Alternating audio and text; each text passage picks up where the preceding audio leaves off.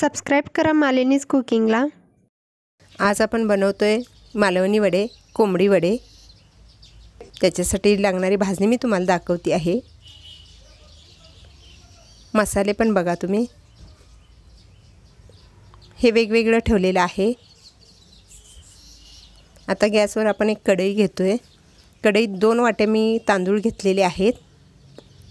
हे खूप भाजायचं नाही आहे हाताला चटका बसेल एवढंच भाजायचं आहे. त्यानंतर एक वाटी ज्वारी आहे. ती पण अशीच आपण भाजायची आहे. नाहीतर ज्वारीला लाह्या येतील. असं नाही करायचं. एक वाटी गहू आहेत. गहू पण असेच गरम करायचे आहेत.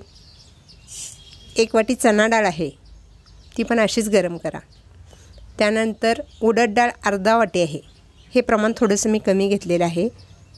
कारण सगळं खूप चिकट चिकट होईल.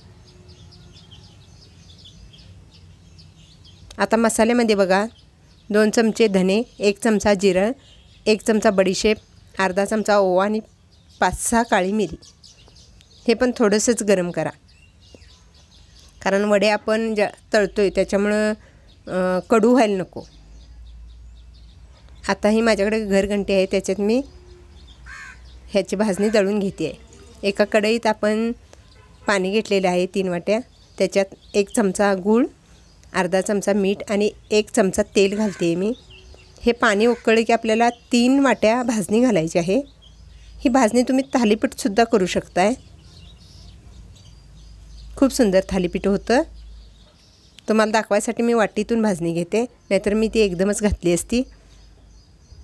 हे जास्त पीठ शिजवायचं नाही आहे. मी लगेचच उतरणार आहे कढईखाली. नाहीतर तुम्ही गरम पाणी घेऊन सुद्धा मळू शकताय. असं नाही की पाणी उकळावं आणि त्याच्यात मग आपण तयार करावं.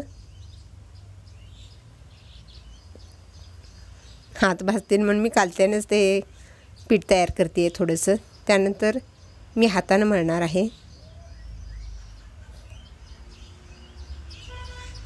पीठ मळून झालं की मी थोडासा एका बाजूला खड्डा बनवते आहे आता तुम्ही म्हणाल खड्डा कशासाठी? तर याला तडका थोडासा द्यायचा. म्हणजे ह्याची चव खूप छान होते.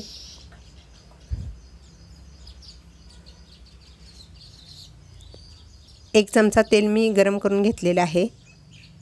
आता या खड्ड्यात तेल ओतायचं आणि ते वरून कवर करायचं आहे.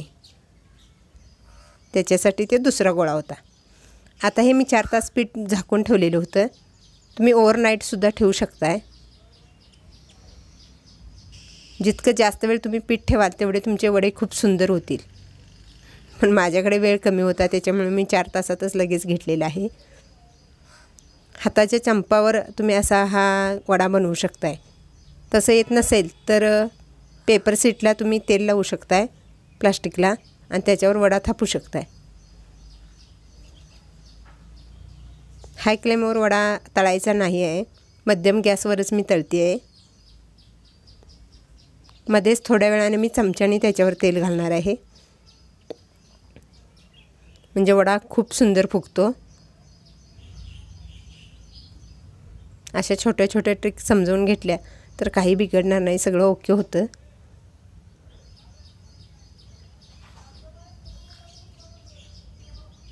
चला वडा तर आपला तयार झाला. कशासोबत खायचा हे तुम्ही ठरवा.